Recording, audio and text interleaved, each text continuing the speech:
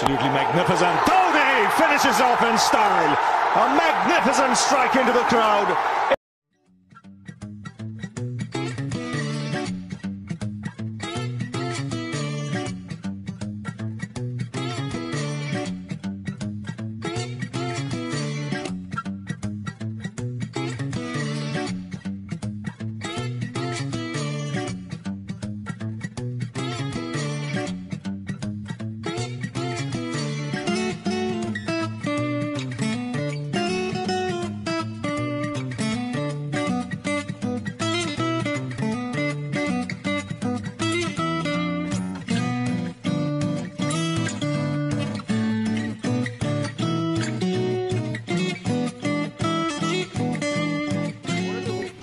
Give you an insight of what goes on inside a kit bag. So we hold a helmet inside this.